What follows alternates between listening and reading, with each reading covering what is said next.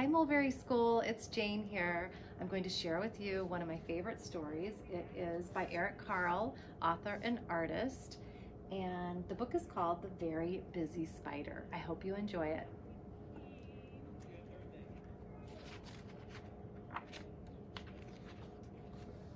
Early one morning, the wind blew a spider across the field.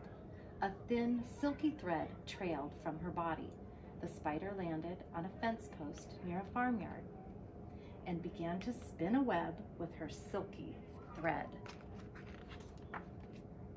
Nay, nay, said the horse. Want to go for a ride?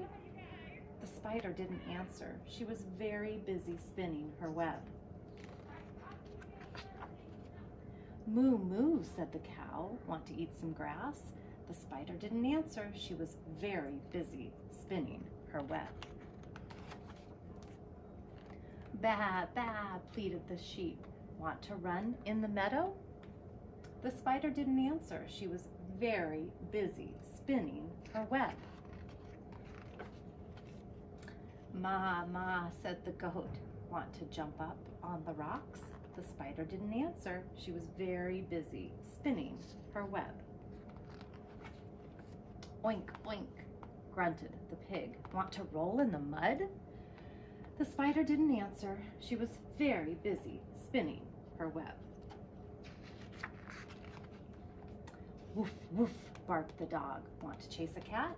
The spider didn't answer. She was very busy spinning her web.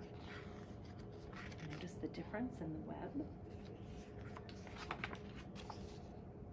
Meow, meow, cried the cat.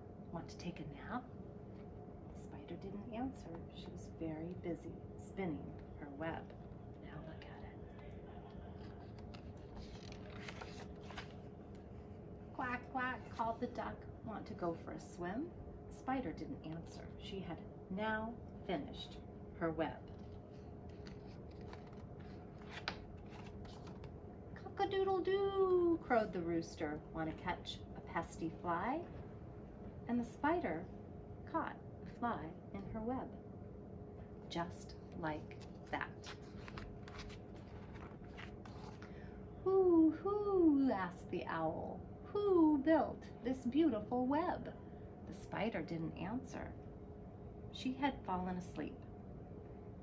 It had been a very, very busy day.